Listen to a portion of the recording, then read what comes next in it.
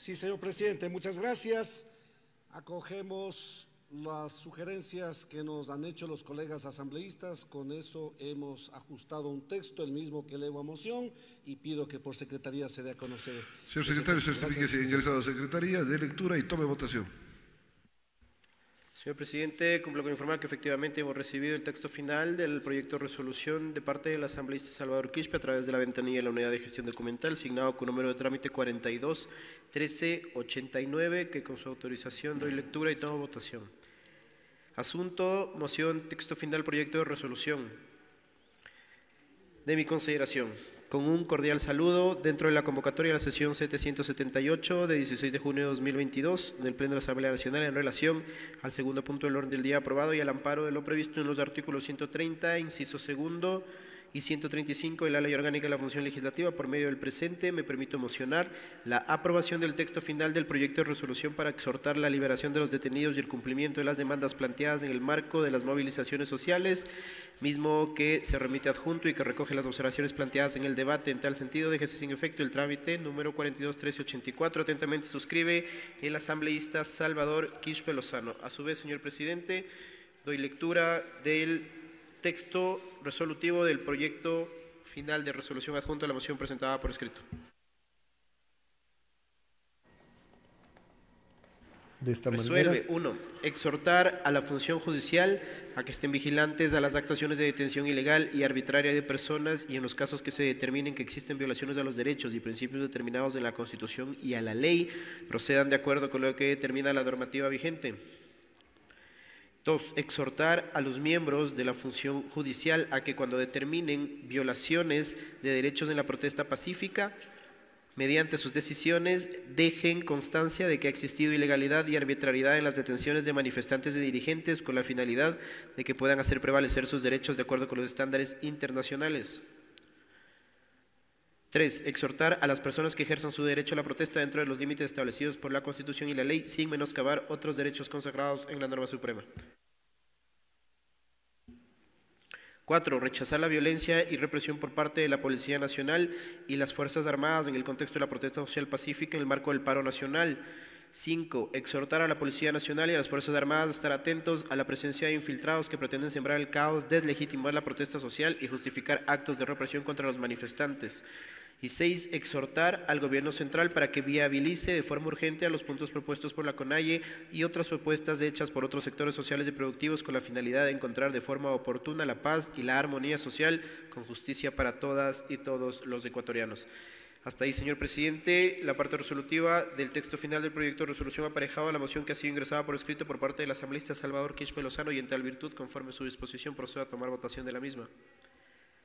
Señoras y señores asambleístas, por favor, registrar su participación en sus curules electrónicas. De existir alguna novedad, favor informar a esta Secretaría General y a cada uno de los técnicos asignados. Muchas gracias. Los detalles del desarrollo de las sesiones plenarias del Parlamento ecuatoriano en Asamblea en Pleno.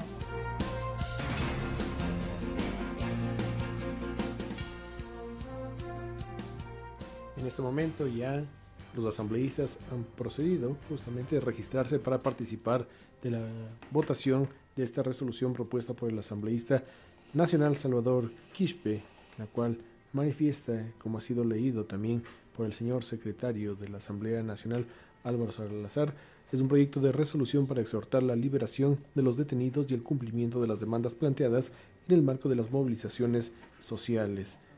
17 intervenciones hemos tenido en el Pleno de la Asamblea Nacional para tratar este segundo punto dentro del orden del día de la sesión número 778 del Legislativo. Hasta el momento 109, 110 ya son los asambleístas que se han registrado para participar de esta votación. El asambleísta Salvador Quispe, quien es el proponente justamente de este proyecto de resolución, dijo que es hora de que todas las funciones del Estado se sintonicen con las necesidades del Ecuador.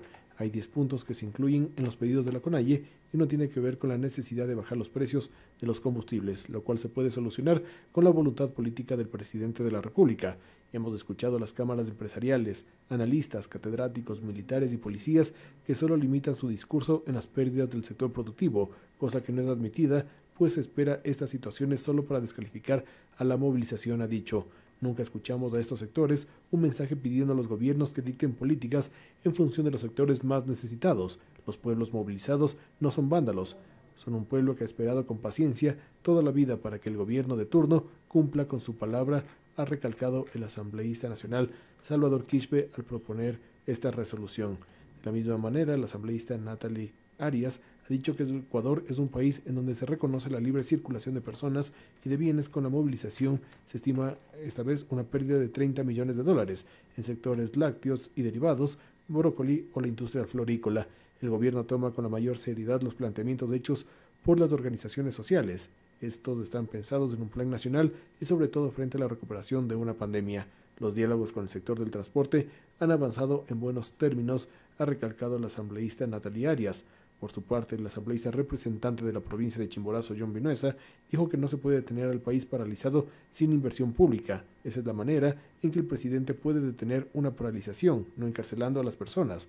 La vacunación es un logro para un subsecretario y no para un presidente. El logro de un presidente debe ser la educación, la salud, el manejo de la rehabilitación social y la inversión pública, destacó el asambleísta Vinuesa. Por su parte, el asambleísta representante del Cañar Plas Columna dijo que a través de videos informar, mostró los hechos de violencia suscitados durante las manifestaciones por parte de la policía. La sesión se pone a consideración del Pleno de la Asamblea Nacional el texto final del proyecto de resolución mocionado y presentado por el asambleísta Salvador Quispe Lozano mediante el número de trámite 421389. Señoras y señores asambleístas, por favor, consignar su voto. Muchas gracias. 131 asambleístas se registraron para esta votación. Comienza ya este proceso. Cuatro las opciones, el voto positivo, el voto negativo, el voto en blanco, la abstención. Hasta este momento se hace uso de las dos opciones, el voto afirmativo y de las abstenciones. Todavía deberán transcurrir unos minutos más hasta conocer la proclamación oficial de los resultados de esta votación. 65 votos positivos, 67 ya tenemos cero votos negativos, cero votos en blanco y ocho abstenciones. Ya supera el número requerido para aprobar esta resolución. Tenemos ya 79 votos positivos. Decíamos que en el debate intervino el asambleísta Blas Coluna, representante de la provincia de Cañar. Dijo que en la asamblea se defenderá el bienestar colectivo. Pidió que el exhorto se llame al gobierno para que se revise el presupuesto para la salud, la educación y las necesidades de empleo. También intervino el asambleísta Celestino Chumpi, representante de la provincia de Morona, Santiago, quien dijo que el derecho a la resistencia está garantizado en nuestra Constitución. Ninguna autoridad puede impedirlo. Respaldó a los manifestantes y sobre todo a los detenidos en el marco de la protesta. Propuso conformar una comisión de alto nivel para debatir las demandas con las estructuras de las organizaciones indígenas. Luego tuvimos la intervención, la sexta, del asambleísta Mateo Flores, representante nacional, quien mostró su rechazo a la violencia en contra de estudiantes de la Universidad de Cuenca. Dijo que como joven se siente indignado al ver a manifestarse a los cuales se les ha vulnerado sus derechos. También intervino el asambleísta Edgar Quesada, representante de Sucumbíos, quien dijo que los 10 puntos propuestos por la CONAIE son justos y necesarios. Todos quienes están en la calle haciendo uso del derecho a la resistencia son ecuatorianos y el gobierno los minimiza a través de la agresión. El gobierno pensó que podía callar al pueblo y más bien fortaleció a la lucha social, recalcó el asambleísta Quesada. La octava intervención fue del parlamentario Marlon Cadena, representante de la provincia de Pichincha, quien dijo que en estos días vemos con preocupación por un lado la protesta social que se encuentra deslegitimada por daños de la propiedad privada y pública y por otro lado vemos una extralimitación de las fuerzas del orden que enfrentan al pueblo contra el pueblo. Señor presidente, me permite informar que contamos con la siguiente votación. Tenemos 95 votos afirmativos, 0 votos negativos, 0 votos en blanco y 36 abstenciones. Por tanto, ha sido aprobada la resolución para exhortar la liberación de los detenidos y el cumplimiento de las demandas planteadas en el marco de las movilizaciones sociales, conforme moción presentada por la asambleísta Salvador Quispe Lozano. Siguiente punto.